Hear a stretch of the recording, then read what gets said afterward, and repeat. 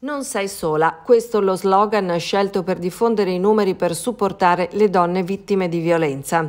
Si tratta di un volantino diffuso in questi giorni dal comune della città di Vigonza, un messaggio che riporta due mani che si stringono affinché nessuna donna resti da sola ad affrontare l'inferno della violenza. Per chi sta affrontando un momento complicato o di difficoltà, il Comune e gli specialisti che collaborano con l'amministrazione sono a disposizione per ascoltare e aiutare chi si trova in difficoltà.